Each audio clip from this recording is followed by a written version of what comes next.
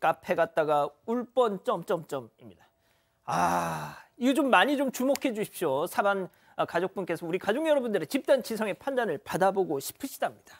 네, 그 1인 1음료가 원칙인 카페에서 거의 쫓겨나듯이 나왔다 이런 사연입니다. 이 사연자가 최근에 그 아내, 아들 또 장모님까지 모시고 이 외출했다가 카페에 들르게 됐다고 합니다. 그런데 그 당시에 장모님은 속이 좀 불편해서 음료를 안 드시겠다고 했습니다. 그래서 음료를 세 잔만 시켰는데 대신에 케이크 두 개를 추가로 주문을 했습니다. 그래서 카페에서 총 3만 7천 원어치를 주문을 했는데 일단 가게에서 포크를 세개만 줬습니다. 그래서 아, 저희 네명이니까 하나만 더 주세요 했는데 딱 잘라서 음료가 세잔이라더 드릴 수 없어요 라고 거절을 했다는 겁니다. 어허. 일단 이것만 해도 좀 무안하고 기분이 나빴는데 심지어 그 직원이 아니 근데 네명이시라고요세 잔만 주문했으니까 한 잔 더 주문하셔야 합니다. 라고 안내를 했다는 겁니다. 어허. 이 아무리 사정을 설명을 해도 1인 1 음료가 원칙이다. 케이크만 주문하신 경우에는 안에서 못 드시니까 그냥 나가서 드세요. 라고 얘기를 했다는 거죠. 아이고야. 이 결국 사연자랑 가족들이 음료며 케이크며 시킨 거를 그냥 싹 포장해서 가지고 나왔다고 합니다. 인원수대로 음료 주문 안 한 건 맞지만 그래도 이 카페에서 총 금액으로 따지면 인당 9천 원 이상을 썼거든요. 음. 그런데도 이런 원칙만 고집하니까 기분 나쁘고 이해도 안 된다라는 사연입니다.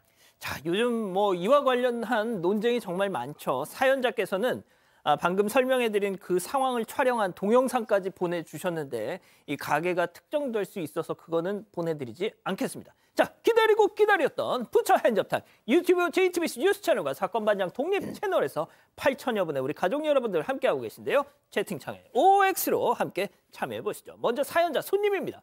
어머머머머머머, 아, 사장님 장사 완전 이상하게 하신다. 아, 이게 도대체 무슨 셈법이야. 아, 저희가 더 비싸게 팔아드린다고요. 예?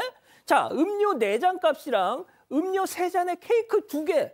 뭐가 더 비싸요? 어? 세상에 감사하다고 못할 망정 뭐 사람 수대로 음료 안 시킬 거면 나가서 먹으라고? 이 양반 이거 완전 배가 불렀네 이거 동그라미. 아 그렇습니다. 아, 아, 아 들어보세요. 다음 직원 손님 여기 좀 보세요, 여기. 어? 분명히 적혀 있잖아요. 1인 1 음료. 이게 우리 가게 원칙입니다. 음료 하나 시켜놓고 나눠 마시면서 몇 시간 죽치고 있는 사람들 때문에 저희가 얼마나 힘든지 아세요? 아, 우리가 오죽했으면 이럴까? 그리고 케이크 팔아봤자 저희 남는 거 없거든요. 음료 파는 게 더 남아요. 자, 우리 별로 안 고맙거든, X. 아 그렇습니다, 박 변호사님. 뭐 우리가 뭐 아직 가게 주인이 아니기 때문에 그런 입장일 수 있지만 1일 1인 1음식 그 정도면 이해가 되는데 그러니까. 1인 1음료는 조금 이해하기 어렵고 저는 또 이걸 한번 지적을 하고 싶습니다. 어차피 자리가 4개잖아요. 음.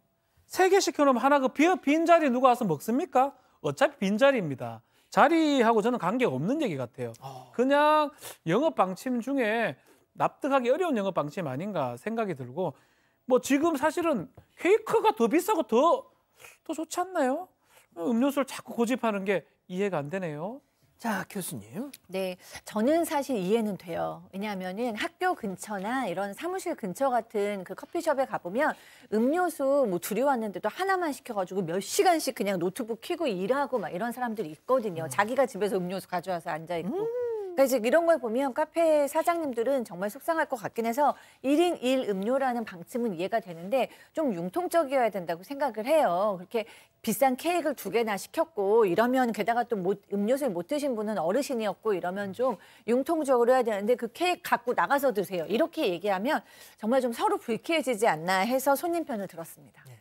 아 이제 박 교수님 말씀하신 것처럼 좀만 좀 융통성 있게 했더라면 그 사실 이제 1인 1음료 이거 하는 카페들이 종종 있어요. 그리고 저도 그 방침에 대해서는 찬성입니다.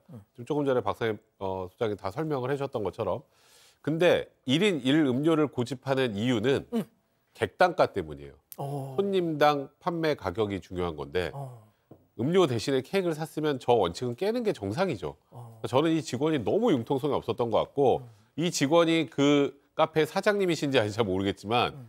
혹시 이 방송을 보신다면 사장님께서 뭐 직원을 해고하라는 뜻이 아니고 직원한테 그렇게 하면 정말 우리 손님 떨어져 그러지 말라는 얘기 꼭좀 해줬으면 좋겠고요.